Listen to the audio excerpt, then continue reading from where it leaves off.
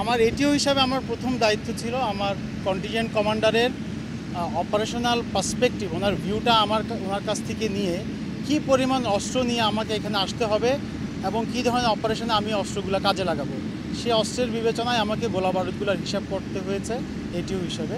তো আমি সেই গোলা বারুদের হিসেব করে রেখেছিলাম এবং আমরা যখন এখানে প্রথমবার আসছি, পুরো কন্টিনজেন্ট না আসার আগেই আমরা এখানে ব্যবস্থাপনাগুলো দেখেছি, কোথায় কি রাখা যায়। তো দেখা যাচ্ছে এখানে ইউএন আমাদের কন্টিনজেন্টের জন্য কোনো অ্যামুনেশন রাখার পরিকল্পনা করেনি কিন্তু একটা স্পেশালাইজড ইউনিট হিসেবে আমাকে যে পরিমাণ গোলা বারুদ নিয়ে আসা লাগতো যেহেতু আমি প্রথমে বলেছি আমার কন্টিজেন্ট কমান্ডার অপারেশন প্ল্যানের সাথে আমাকে সামঞ্জস্য রেখে এই গোলা বারুদগুলো পরিকল্পনা করতে হয়েছে। তা আমি তখন থেকে পরিকল্পনা শুরু করি এখানে এই মরুভূমিতে এখানকার রিসোর্স দিয়েই কীভাবে একটি আদর্শ অ্যামুনেশন স্টোর হাউস তৈরি করতে হয়।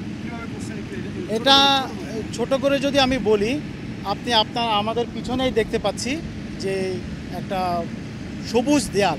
এটাকে আমরা এখানে আমরা হেস্কো বলি। এটা যারা ইউএন মিশন করে থাকে, তারা কম বেশি এটার সাথে পরিচিত। এটা সাধারণত ক্যাম্প প্রোটেকশনের জন্য দেয়াল হিসেবে তৈরি করা হয়। আমি এই ম্যাটেরিয়ালটাকেই ঘরের উপাদান হিসেবে বিবেচনায় নিয়ে, যেহেতু এটার পুরুত্ব অনেক, বিবেচনায় নিয়ে আমি একটি স্টোর হাউস পরিকল্পনা করি, যেটাতে এই অ্যামুনিশনগুলা বাইরের তাপমাত্রা থেকে নিরাপদে থাকবে এবং এটা যদি কখনো অ্যাক্সিডেন্টাল দুর্ঘটনা মানে বিস্ফোরণ হয়ে যায়, তাহলে এই সীমিত জায়গার মধ্যে যাতে বিস্ফোরণটা আমরা যেটাকে বলি লোকালাইজ মানে এটা চারপাশে ছড়াবে না এবং এটা সবাইকে নিরাপত্তা দিবে। আমি সেই বিবেচনায় এই কাজটা করেছি। আমি যখন এগুলো নিয়ে পরিকল্পনা করি, আমি যখন নকশা দেখি আমার, কারণ এখানে আমি চাইলেই অনেক কিছু পেতে পারব না, কারণ আমরা একটা দুর্গম জায়গায় আছি। এখানে রাজধানী থেকে ছশো কিলোমিটার দূরে রাস্তাটা অনেক খারাপ। যে কোনো জিনিস চাইলে আমি পেতে পারি না। আমি আপনাকে হেস্কোর কথাই বলেছি প্রথমে। এগুলোর আমি পরিকল্পনা করে আমি আমার সেনা সদর, আমার কন্টিজেন্ট কমান্ডারকে এটা আশ্বস্ত করে আমি এটা ইউএন সদর দপ্তরে পাঠিয়েছি।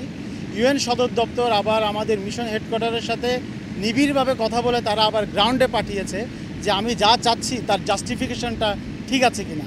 তাদের বিভিন্ন পর্যায়ে ইন্সপেকশন হয়েছে। শেষ পর্যন্ত আমি আপনাকে বলছি এটা দুই বছরের গল্প। আপনি যে জিনিসটা আমার পেছনে দাঁড়ানো দেখছেন এটা গত দুই বছরের গল্প। তারা এটা রিসোর্স ক্যালকুলেশন করেছে এটা কত টাকা প্রয়োজন হয় এটা দেখেছে। তারপর তারা টাকাটা খরচ করবে কিনা এটা চিন্তা করেছে এটা করে তারপর তারা এটা অনুমোদন দিয়েছে। যেটা পেছনে ছিল আমার কন্টিজেন্ট কমান্ডার এবং আমার বাংলাদেশ থেকে আমাদের যে আহ, সেনা সদরের দিক নির্দেশনা এটা আমরা সারাক্ষণ এটা নিয়ে আমরা পার্সু করেছি এবং শেষ শেষ পর্যন্ত আমরা আপনি দেখতে পাচ্ছেন আমি এটা অনেকটা সফল হয়েছি।